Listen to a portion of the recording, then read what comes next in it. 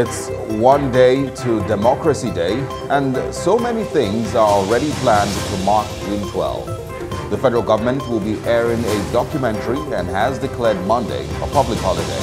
But thousands of Nigerians say they hold, or they will rather, hold a mass protest against bad governance. We'll talk about these and more. Osun state government gets more security conscious with a plan to profile immigrants and especially herders. We'll talk about the plan to issue identity cards to them. And we'll also say a thing or two about the interview President Muhammadu Buhari granted a television station uh, two days ago.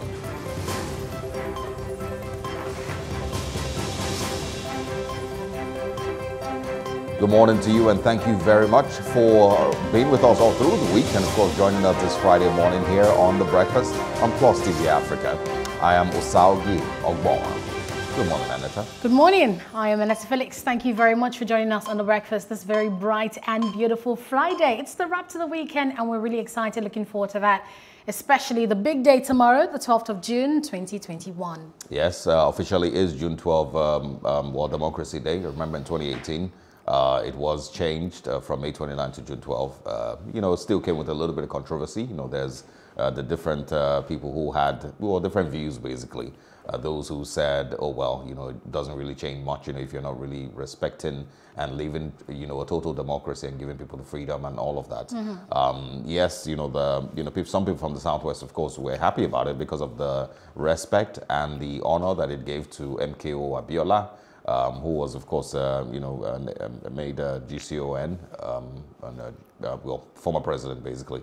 Um, so, so yeah, it's also going to be interesting to see how it plays out tomorrow. There's, you know, like we said, uh, going to be a documentary by the federal government, and at the same time, there's people who have uh, stated that they will, you know, protest, you know, the, what Nigeria currently is, you know, seen as its democracy. So, mixed uh, feelings, mixed reactions. We'll see how it goes. Yes, can't wait to really talk more in detail about the June 12 um, events, the protests that are being planned, the celebrations that are being planned as well.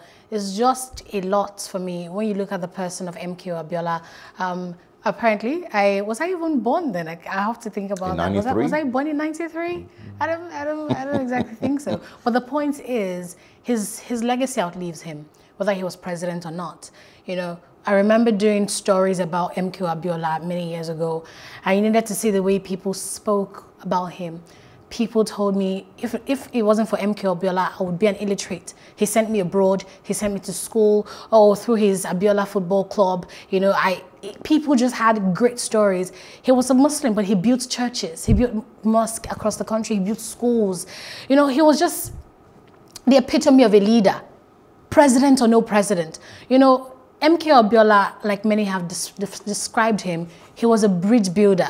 He, he, he didn't care wherever you were from, and people didn't care where he was from. People didn't look at him and say, You're a Muslim, you're a Yoruba man. He was one Nigerian that unified and united lots of people. When you look back at the day June 12, 1993, it, it's June, it was raining that period people didn't care. They came out to vote under the rain. Yeah. You needed to see the queues. People were willing to stand behind MKO Abiola and he won overwhelmingly. Yeah. Became the presumed winner of the election until IBB annulled that. So there's just a lot really to talk about the day, the significance, and you know, while we talk about celebrating June 12, for me, I wouldn't necessarily, you know, if, if, I'm to be completely honest, use the word celebrate because really, what would I as a person celebrate? An event that was declared by national and international observers to be the freest and fairest election in Nigeria's history. That day that election was annulled by a military um, head of state. So I don't think there's anything to celebrate about that. Rather, as a person, in my opinion, I'd rather honor that day for all it represented, you know, and all it represents. So really looking forward to that in, um, long discussion with um, oh, an analyst um, later on. on I think the celebration is mostly about Democracy Day. Um, um, you know, June 12 apparently, of course, has been named Democracy Day, so they, you know, are one you know, and the same currently. Um, but the, the what Nigeria is celebrating or should be celebrating. Did democracy is, really know, thrive on June 12? That's that. Um, these so, are the so, questions we need to yes, ask. Really. you know, absolutely. You know, but the thing is, you know, if we didn't do it, if we're not doing it tomorrow, we would have done it on the 29th of May. So the the you know celebration is about democracy. Uh, June 12, yes, has its own uh, conversations built around it, and you know the events that took place, you know, on, on this day in 1993 and all of that. But um, would Nigerians really be celebrating democracy? And that's that's where you know there would be some confusion. There's some people who have said absolutely not because we don't seem to be fully experiencing a democracy. You know, but we'll, we'll talk about it. We have a guest coming up uh, sometime later on the show mm -hmm. to share thoughts on that one. Uh, there's something big that happened in the last uh, couple of hours, and that was an interview by President Muhammadu Buhari. Um, that, of course, has also created loads of conversations across Nigeria. Um, um, first of all, from critics saying, "Oh, you know, it wasn't a live interview." You know, to those who said, who listened and watched the interview rather, and had their own thoughts um, concerning that interview. Mm -hmm. the first point that I would make with regards it is, you know, a, a lot of times. So, you know, many times, first of all, um, I've always said that, uh, you know, it, it's not normal that we have a government that doesn't see the need in the wake of all the things that are problems and problematic and disturbing Nigerians, from the economy to security to education, infrastructure, um, all of that, kidnappings and, and some of all of that. It's, it's, uh, it's not normal that we don't have a government that feels the need to always speak to the Nigerian people to reassure them that they understand and they are, you know, you know, fully in control of the situation. Um, it is not normal that we have um, a government, you know, in, in power today that doesn't think it's necessary to, you know, address the press, you know, every week, every month, every now and then. Um, Donald Trump, as much as he was criticized because of the things that he said, and you know, people said he was always telling lies. Um, they understood the need for the president to speak with he the American people. He was never people. far from the people. Yeah. So um, it's not normal, you know, that we can hear in the news that 50 people, you know, were killed or 88 people or, you know, 60 or 30. And we get silence. And, you know, and there's a couple complete of tweets silence, from presidential aides. Exactly. Um, and the president himself doesn't feel the need, the presidency, you know, don't feel the need you know, for the president to speak with Nigerian people, the person who was elected, who people, you know, stood under the sun um, and elected and put into power twice, doesn't feel the need to speak with the Nigerian people and tell them and reassure them that, you know, we we have, it, you know, the country under, um, you know, control. So there is that part, you know, mm -hmm. we've, we've gone, you know, almost six years without, you know, any of these press conferences, maybe once, um, you know, um, prior to the elections and all of that. So it finally did happen yesterday because, of course, it was in Lagos to launch um, uh, some uh, projects. Um, but of course, it still came with its own levels of criticism with regards to things that he said.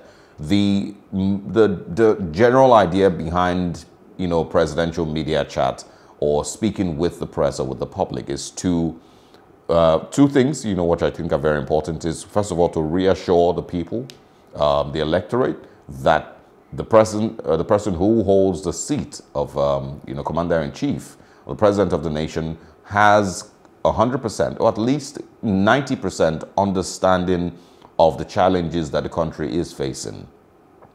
Understands in every single detail, can be asked any question in any direction and has an idea, has heard about it, um, you know, knows what is currently, you know, being done about it, anything whatsoever. At I least remember, has been briefed. I remember, yeah, at least has been briefed. I remember um, um, Obasanjo's time. You know, it, these things used to be regular and you could ask him any question, you know, in any direction, and he would obviously have something always to, to say. Could be criticized later, but at least he understood it. So that's the first, you know, reason. The second is, um, aside showing the people that you understand, it's also to reassure that aside understanding, these are the things that you are doing mm -hmm. to ensure that you lift them out of the suffering or lift them out of their challenges, and you um, just basically reassure the Nigerian people that you are in charge. So that's um, where you know a lot of people found um, you know the interview lacking. Yes, uh, you know yesterday um, after it was aired, a lot of people were you know didn't get that feeling from that interview that oh you know the, the president understands 100% of what's going on in Nigeria today in every single space, security and you know infrastructure and you know herders you know crisis and the kidnappings and the calls to secession and all of that um, full understanding and full, you know, um, you know, um, ideas on what must be done to ensure that we move in a better direction. Mm-hmm. Um, that's you know some of the things that we're lacking yesterday. The question concerning Niger Republic and you know projects of Niger Republic came with an answer that of course was say he said, oh, we have cousins you know in Niger and some of all of that. And it might sound, you know, you know, on a lighter note, people might, you know, laugh and say, oh, well, you know, and yeah, people can also argue that, okay, yes, true. You know, we have brothers in Ghana also, we have brothers in Cote d'Ivoire and some of all of that, which is fine. But in, in the interim, at the time that we are, that's, from what I'm seeing, the comments that I've seen on social media, um, that's not the response that a lot of people wanted. That's not the response a lot of people expected to hear um, to defend our relationship with Niger and to defend the finances that we're putting into, you know, Niger Republic for any reason.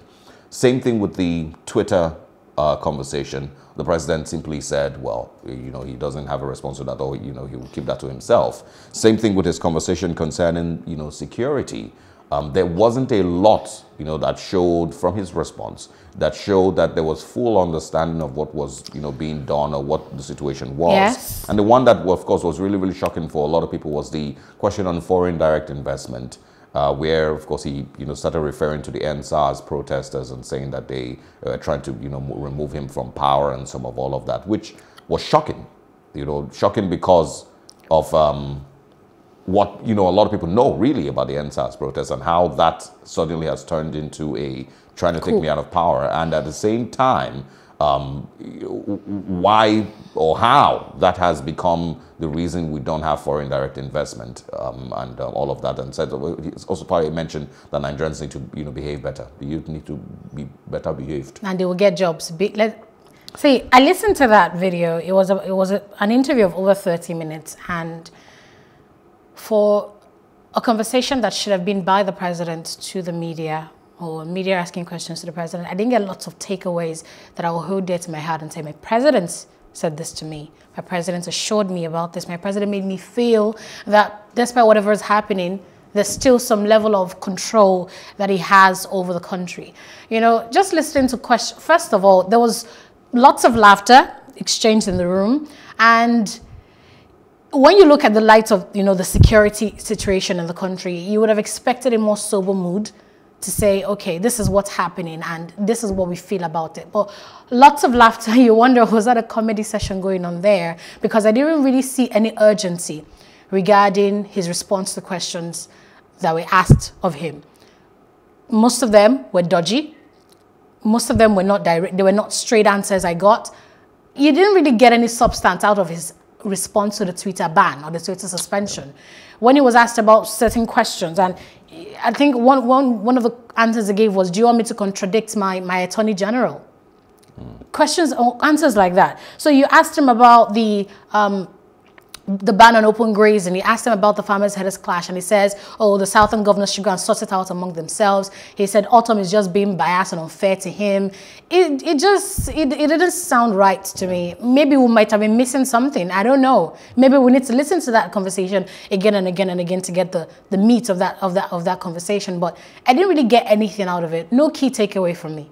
Well, you know, like I said, um, it lacked, you know, those two very important things, and that is on the understanding and the ability to reassure Nigerians that um, the government was in charge of the situation and was going to do everything uh, possible. And to convey empathy um, to Nigerians. Yeah, you know, empathy, and, that, and, that's what we've we've also lacked for a very very long time.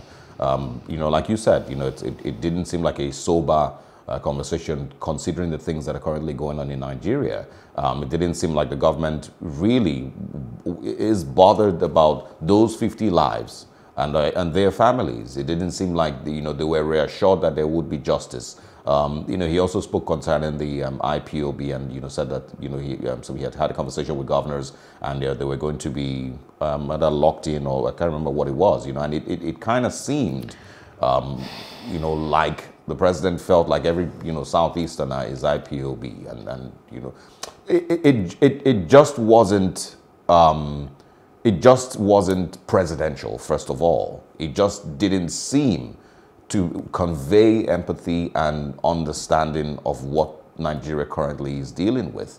Um, how are we still talking about grazing routes when we should have moved to a place where we then have, have agreed across the country that um, open grazing should be put to rest. He said a he can't contradict his attorney general. So Um, should- exactly. what more can we expect? So, so, so these are some of the things that were just completely, you know, um, um, off key or off point. Um, I hope, you know, that um, maybe on Monday or you know further, while we talk about, um, um, you know, June 12, you know, on the public holiday, we may also be able to extract some of, you know, his responses to, you know, to the um, questions that were asked yesterday. But for many Nigerians who've been asking the president to speak, he, he spoke. Yeah, and every time that he does, can you say always- that? always Can you say they're satisfied? Yeah, now? I don't think so. I don't think so. Anyway, uh, we'll take a short break. When we come back, let's go to the papers this morning. It's a Friday morning, so of course, Jide Johnson will be joining us to share his thoughts on some of the big stories making headlines across Nigeria today.